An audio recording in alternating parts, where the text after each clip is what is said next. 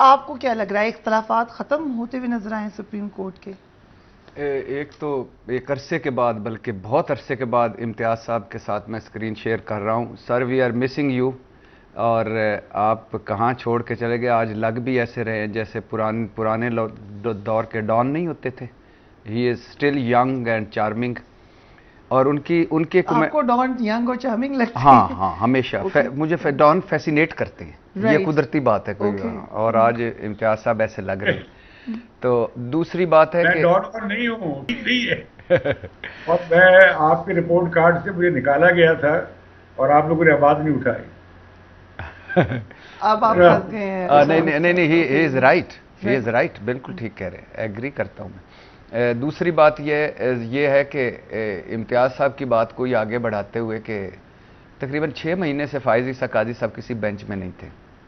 और आज मुझे जितनी हैरानी हुई कि तीन महीने पहले उनका नोटिफिकेशन हो जाना एज ए चीफ जस्टिस उतनी बड़ी हैरानी हुई कि वो चीफ जस्टिस साहब के बेंच में शामिल हैं हम्म। और जो एक एतराज़ था कि सीनियर तरीन जज साहब को नहीं शामिल किया जा रहा और वो उधर नहीं हो रहे वो उधर नहीं हो रहे और स्पेशली दो सूबों के इलेक्शन पर हम्म। जिस तरह हमने सुप्रीम कोर्ट को तकसीम देखा और फिर इसके दरमियान में खबरें आती रहीं कि वो बोल चाल बंद है फलां है ये है। इवन एक मरतबा फायजीसा साहब को तरदीद करनी पड़ी कि नहीं मैं फलां तकरीब में मिला था और फिर इकट्ठे मिल के पौधा लगाना पड़ा हम्म। और वगैरह वगैरह। तो वो सारा है डेफिनेटली इसको अगर आप एक सोच का कह दें वो भी है।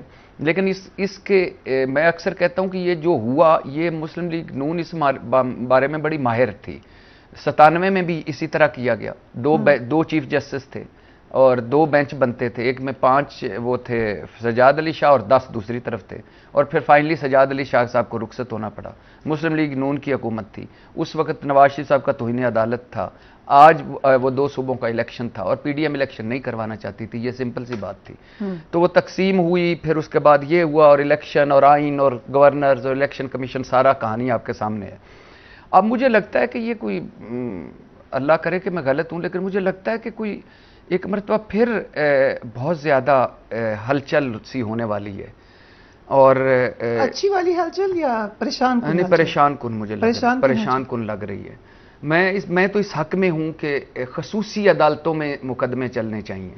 खसूसी अदालतें उसको कुछ भी कह लें। इंसदाद दहशतगर्दी की खसूसी अदालतें कह लें फौजी अदालतें कह लें वैसे बाई दवे तरीके इंसाफ के पास दो मरतबा चांस था कि वो ये ख़त्म कर देते। हम्म। और छब्बीस सिविलियंस का उन्होंने भी ट्रायल किया।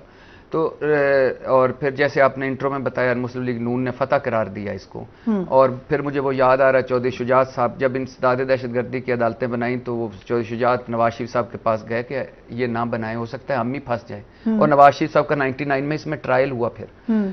तो ये ये एक तो बदकिस्मती है, हम करते नहीं हैं। जब हम इकतदार में होते हैं, हमारे चेहरे और होते हैं, अपोजिशन में होते हैं, हमारे चेहरे और होते हैं, इकतदार में होते हैं फिरौनीत होती है, अपोजिशन में आती हैं, आज़ाद इजहार इजहार राय इंसानी हकूक़ तो फ़लाँ, फलां, फ़लाँ।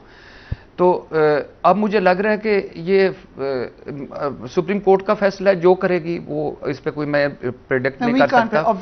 ठीक। तो लेकिन मुझे लग रहा है कि कुछ अच्छा नहीं मुझे फील हो रहा। कि इकट्ठे हो गए आपको सब इकट्ठे हुए नहीं, नहीं, नहीं इस केस में इस केस हम्म। में स्पेशली इस केस के बड़े इम्प्लीमेंटेशन वो इम्प्लीकेशन हैं। हम्म। पीछे नौ मई है। हम्म। और नौ मई का बोझ कोई भी नहीं उठा सकता।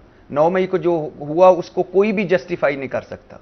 नौ मई शर्मनाक दिन था और इसको मैं जब लेफ़्ट राइट अपने करते तो वो कहते इसको कहते हैं नाइन इलेवन है पाकिस्तान का तो अब इसमें इस इस तनाजुर में जब मुकदमे अभी बहुत सारी हमें तो की जा रही थी अगले हफ़्ते कोई बड़ी प्रेस कॉन्फ्रेंस होने वाली है जिसमें सबूतों के साथ बताया जाए कि चार मरहले हैं मनसूबा साज उकसाने वाले इसको हम्म। प्रोपागंडा करने वाले और करने वाले हम्म। तो उससे पहले ये केस लगा हम्म। और उससे पहले अगर कोई फैसला आ जाता है तो मुझे कोई वाइब्स अच्छी नहीं लग रही। राइट right, इंटरेस्टिंग और जो हम बात कर रहे थे इलेक्शन की आ, क्या इलेक्शन टाइम पे होंगे या नहीं होंगे? तो सिचुएशन इजाज़त दे काम लेना लेकिन ये हम उन्हें क्यों इसमें खेच रहे? राइट सो इशाब भट्टी साहब इलेक्शन आपको होते नज़र आ रहे? नहीं मुझे 8 अक्टूबर को इलेक्शन होते नज़र नहीं आ रहे। उसकी उस इनकी ज़ुबान सुन लेना। जरदारी साहब ने कहा है कि इलेक्शन ये दो महीने में इलेक्शन नहीं हो सकते इलेक्शन तब होंगे जब मैं चाहूँगा। बात ही ख़त्म कर दी।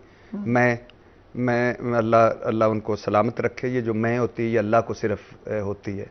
और आइन भी इसका मतलब है वो हैं जमहूरियत भी वो हैं इलेक्शन भी वही हैं और कायदा कानून भी वही हैं जज भी वही मुद्दई भी वो मुलजम भी वही गवाह भी वो अदालत भी वही फैसला भी वही।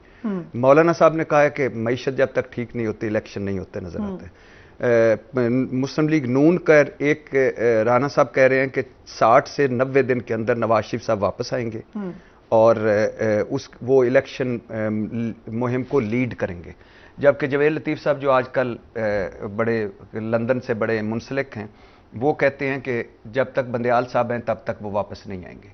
तो बंदयाल साहब का मतलब है कि उनका जाना है सितंबर में। उसके बाद 60 दिन या 90 दिन कर ले नवाज़ शरीफ साहब की वापसी फिर उसके बाद इलेक्शन मुहिम। तो मुझे नवंबर दिसंबर में नवाज़ के भी स्टेटमेंट याद रखे उन्होंने कहा था पलड़े बराबर होने नहीं वो तो खैर से पूरा पलड़े ही उनके पास अब हो गया हो। और लेवल प्लेइंग फ़ील्ड ऐसी हुई है कि प्लेइंग फ़ील्ड में वही है। जब तक नवाज़ शरीफ नहीं आते हाँ नहीं तो हो सकता। वो वो तो आज अब तो नवाज़ शरीफ साहब आज पता नहीं एक। वज़ीर साहब का मैं सुन रहा था वो कहता था अब तो फॉर्मेलिटीज रह गई और रह गई हैं ज़ाहिर। नाहली खत्म हो गई ऑलमोस्ट और बाकी सजाएँ एवन फ़ील्ड में मरियम साहब और कैप्टन सफदर बरी हो गए तो वो भी हो जाएँगे कोई थोड़े अरसे के लिए।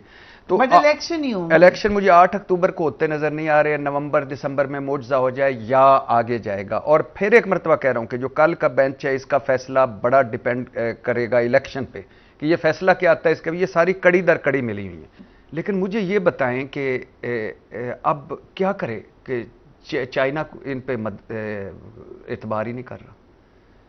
यूएई और सऊदी अरब इनको पैसे ही नहीं दे रहा। और पिछली हुकूमत में जब तरीक इंसाफ की हुकूमत में थी थी। अगर यूएई से पैसे लाने थे तो फौज लाती थी। कतर के पास जाती थी तो फौज जाती थी। फैटफ के हवाले से करती थी तो फौज सारा करती थी।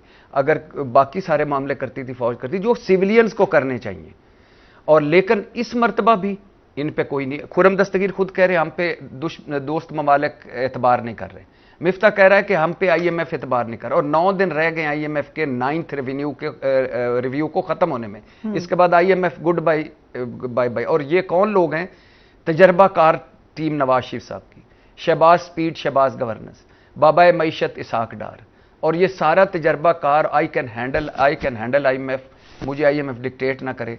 और फिर वक्त आ गया कि ये मुसदक मलिक साहब साढ़े कुल जहर खान वास्ते पैसे नहीं शहबाज शरीफ ऐसी भिकारी हैं मौलाना साहब फूके मारेंगे मीशत ठीक हो जाएँगी। और ख्वाजा आसफ साहब के हम डिफ़ॉल्ट कर गए। तो, तो अब क्या करें? क्या करें? फिर दूसरी बात है कि सारे मुल्क कहते हैं कि आप हमारे पास आते हैं बड़ी खूबसूरत पिक्चर पेंट करते हैं। मैं चार पाँच किसी प्रोग्राम रख लें मैं और इम्तियाज़ साहब दोनों आ जाते हैं। मैं आपको उनके हवालों के साथ बताता हूँ। वो कहते हैं कि जब हम जाते हैं इन्वेस्टमेंट लेके जाते हैं, हमें इतना रुलाया जाता है, इतना भगाया जाता है, इतनी कमीशनें मांगी जाती हैं, इतना रेड टेपिज्म है कि हम वापस आ जाते हैं। फिर आप हमारे पास भागे भागे आ जाते हैं, कुछ करें। तो आईएमएफ इस वक्त मान नहीं रहा। दोस्त मवालक कह रहे हैं आईएमएफ में जाओगे तो पैसे मदद। कमर्शियल इदारे कर नहीं रहे। तो एक एफर्ट है, इसमें लीड कर रही है सिविलियन गवर्नमेंट इस वक्त बदतरीन मुआशी बुरान है आप अंदाज़ा नहीं कर सकते गलियाँ मोहल्लों में क्या सूरत हाल है। गरीब रुल गया है सफ़ेद पोश रुल गया है तनख्वाहदार रुल गया है और हम पता नहीं कोई कह रहा है नवंबर कोई कह रहा है दिसंबर हुकूमत के अपने लोग कह रहे हैं कि दिसंबर शायद निकले कि नहीं। यानी आपने तेईस अरब डॉलर देना है अगले तीन चार महीनों में बहत्तर अरब डॉलर देना है अगले ती, तीन सालों में कहाँ से पैसे लेंगे? चार अरब डॉलर आपका वो पड़ा हुआ है तबाही फिर फिर गई है चारों तरफ़। तो दूसरी बात यह है कि पिछली हुकूमत जब गई थी तो आखिरी दिनों में हम क्या तबले मार रहे थे और संगत कर रहे थे कि नाकाम हो गई वादे दावे नारे माशी पॉलिसी। लेकिन ये जाबा इन्होंने पिछलों के भी गुनाह बख्शवा दिए। तो इस वक्त बदतरीन मुआशी बुरान में है सारे स्टेक होल्डर्स को बैठना चाहिए। सारे स्टेक होल्डर्स को लेके वन विंडो ऑपरेशन करना चाहिए खुदा के लिए। अब हमारा दुनिया कहाँ से कहाँ चली गई है?